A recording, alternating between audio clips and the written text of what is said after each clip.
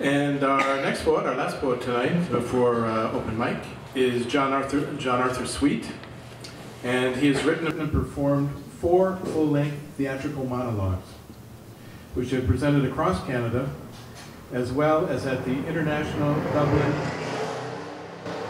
Gay Theatre Festival, the Brighton, UK Fringe, and three times at the Prague Fringe. In 2013, John attended the spoken word residency at the Banff Center. And it was at that point that he ventured into the world of spoken word, of spoken word poetry and shorter prose monologues. As a spoken word poet, John has performed to date almost exclusively in Montreal, where he has been a regular invited artist at the monthly Words and Music Show. He has also been an invited artist at Massmouth in Boston, and very recently at the Victoria Poetry Project in Victoria, British Columbia. John is a native of Southern Ontario, but has lived in Montreal since 2008. John Arthur Sweet.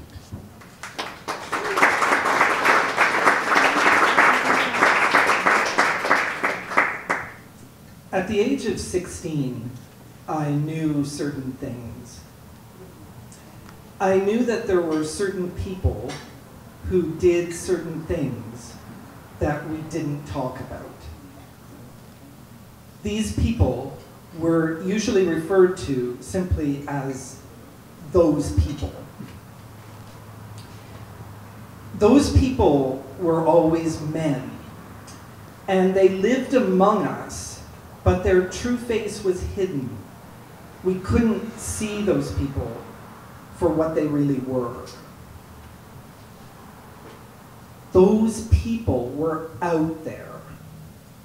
We knew they existed, but we didn't know any of them personally. We had only the vaguest idea of what they did when they were together. And no one we knew knew any of them either. But we knew they were around us. And we knew they were numerous, or at least more than just a few that one of them might live on our street even. Those people were diabolically clever though. They blended in so that you might have been talking to one of them and not even have known it. You may have been talking to one of those people and not even have known it. They were that subtle. But those people did give off certain signs if you knew what to look for. If you knew what to look for, it meant you were one of them.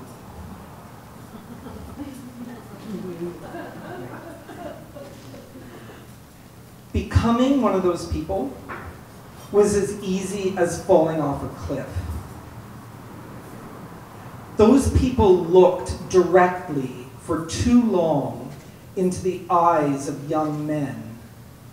And if the young man looked back, he was lost. He became one of them.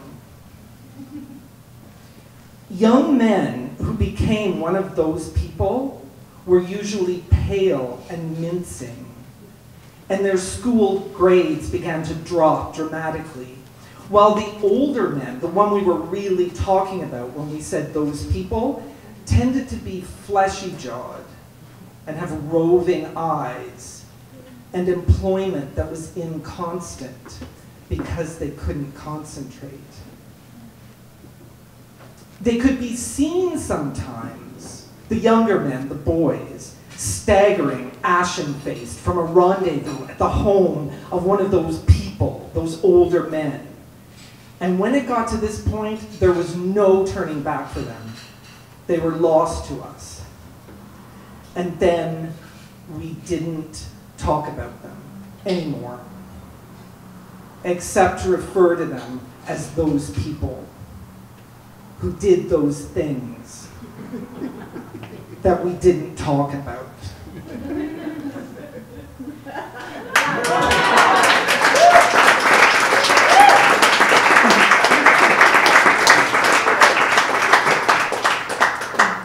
Thank you very much. Um, Sometimes I feel it's necessary to explain that that is not a poem about vampires. People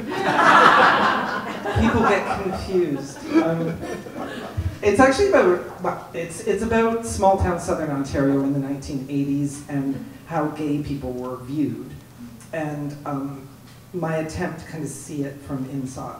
And then of course, you know, eventually I discovered I am one of those people. um, so yeah, my background is in theater, so I have this tendency to like memorize everything, which is why I'm, I'm not reading. Um, so the I'm just going to do one more piece, but it's like a fairly long poem. It's called uh, Heaven.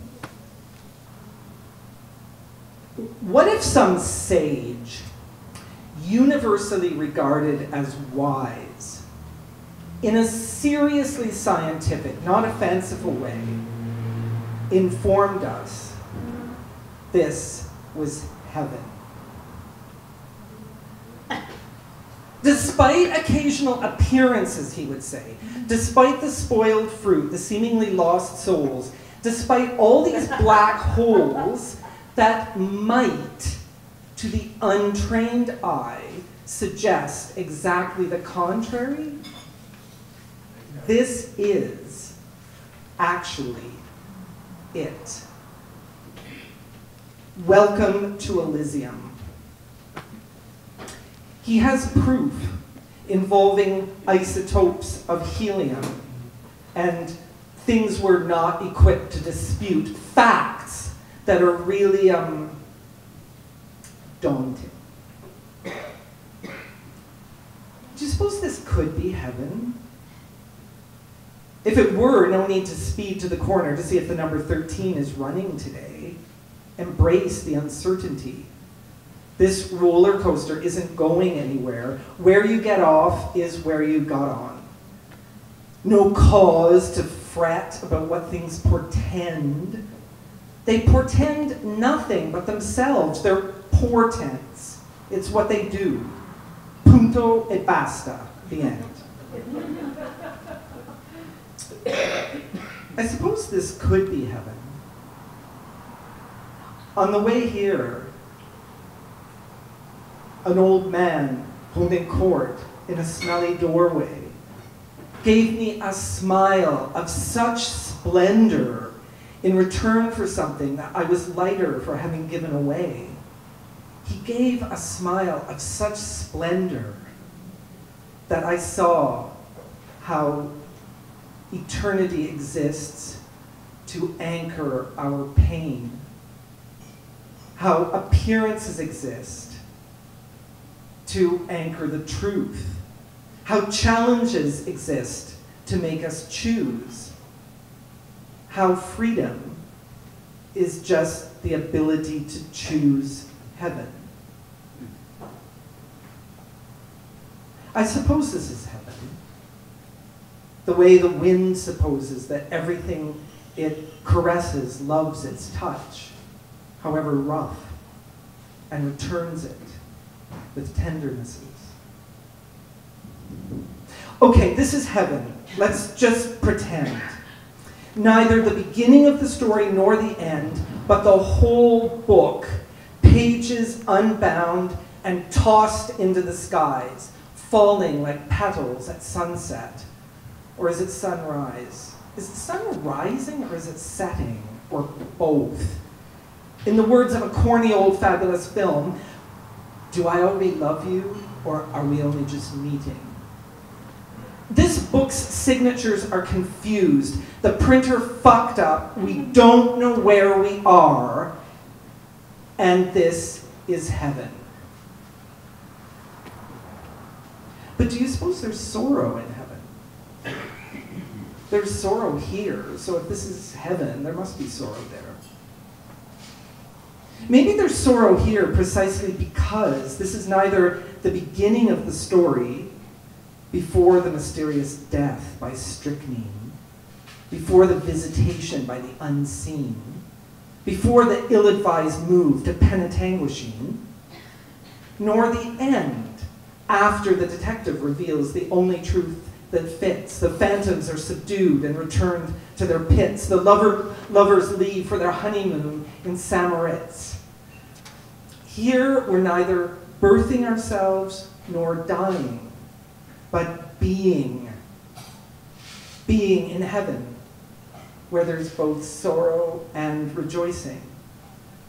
We're voicing the whole event sorrow, sowings, and harvests fluttering around us like swallows, heaven sent. Here, where we embrace everything. Here, where we have choices. Here in our heaven.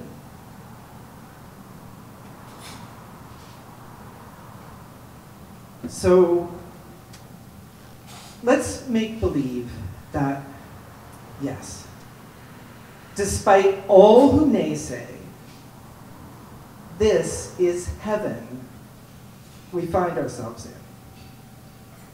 It's our very first day. Where shall we begin? Merci beaucoup.